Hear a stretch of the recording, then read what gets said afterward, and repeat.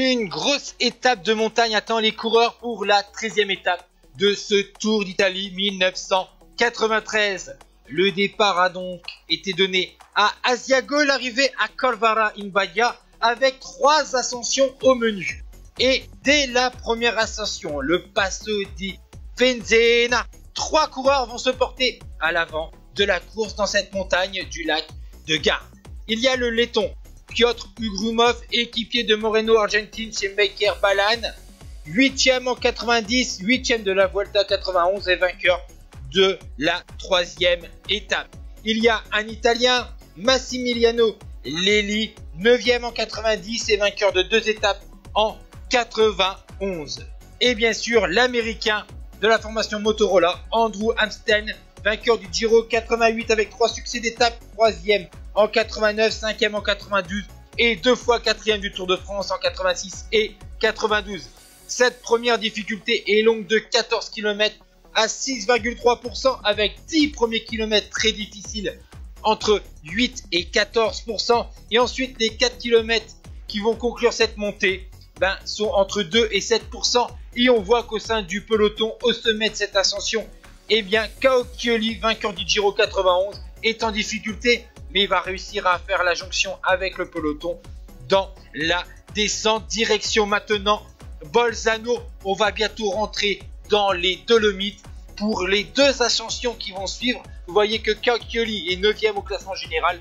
Malheureusement pour lui, les deux ascensions qui vont suivre, dont la dernière qui dépasse les 2000 mètres d'altitude, bah, ces deux cols vont être fatales au leader de la MG Magnifico. Au sein du peloton, c'est les équipiers du maillot rose de la Mercatone Uno qui emmènent donc ce peloton pour limiter l'écart avec Ugrumov, puisque Ugrumov est assez proche au classement général du maillot rose qui est bien sûr Ali. Et donc, on attaque l'ascension suivante. 1 minute 12 d'avance pour le trio tête sur le peloton maillot rose. A encore une cinquantaine de coureurs. La deuxième montée, eh ben, elle est longue de 15 km à 7% de moyenne. Elle se nomme le Passo di Eores.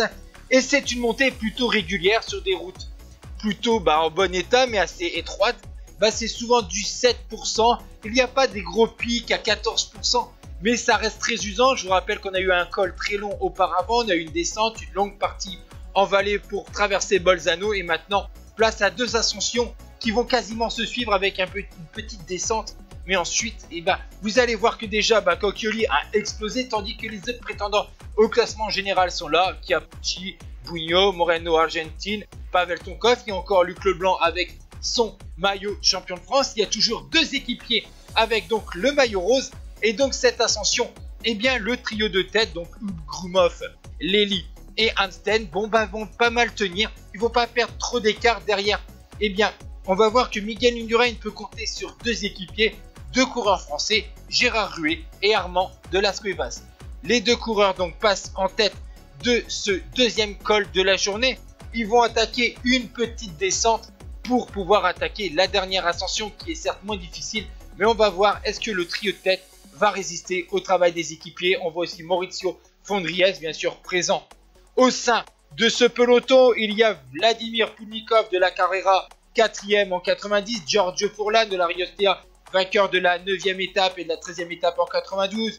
Il y a bien sûr donc Bruno Leali, le porteur du maillot rose, qui avait fini 18ème en 92 on pensait qu'il n'allait pas forcément tenir sur ce type d'étape, mais le maillot rose donne des ailes à Bruno Leali. Sans oublier la présence de Gelfi, mais Gelfi commence à avoir du mal à tenir les roues des autres prétendants au classement général. Voici donc cette descente assez courte, hein, environ 4 km pour rejoindre le pied de l'ultime ascension du Passo dere Herbe.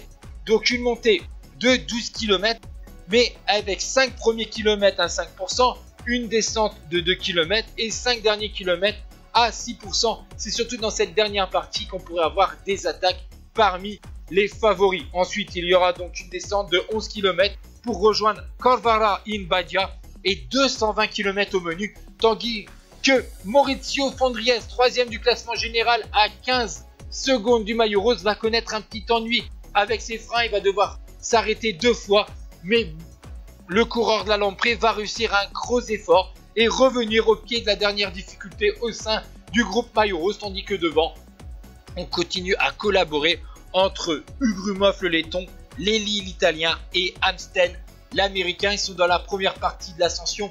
On peut mettre du braquet. Ensuite, c'est la partie descendante comme je vous disais. Et vous voyez ici le retour de Fondriest au sein du peloton. Gros effort. Est-ce qu'il va le payer dans la dernière partie de la montée? Bah, On va voir par la suite de l'étape. Le trio attaque maintenant la dernière partie de cette montée à 6%. Il y a des petits passages à 7-8%. Il reste encore 13 km à parcourir. Donc, va encore 1 km 800 d'ascension.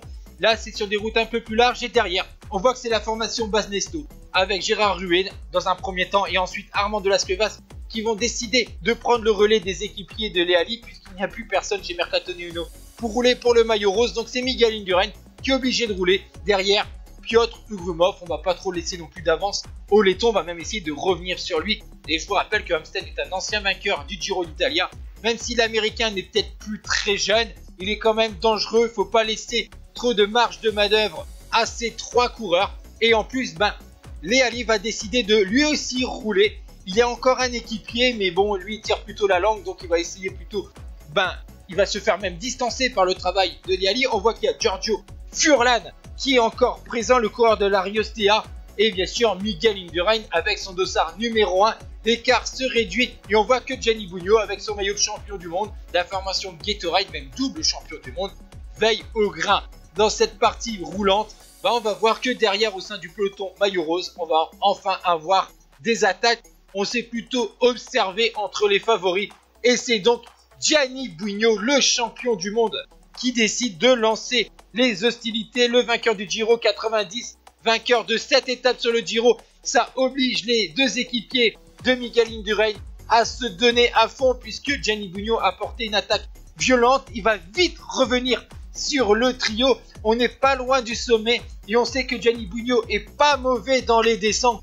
Donc derrière, ça panique pas, mais on sait qu'il va falloir vite réagir car dans la descente très rapide vers Corvara Inbadia, nous sommes donc dans les Dolomites. On s'attendait à une bagarre. C'est surtout certains coureurs qui vont perdre du temps, comme je vous ai cité en début de reportage avec Cocchioli, qui va donc perdre ses espoirs de victoire sur le Giro d'Italia.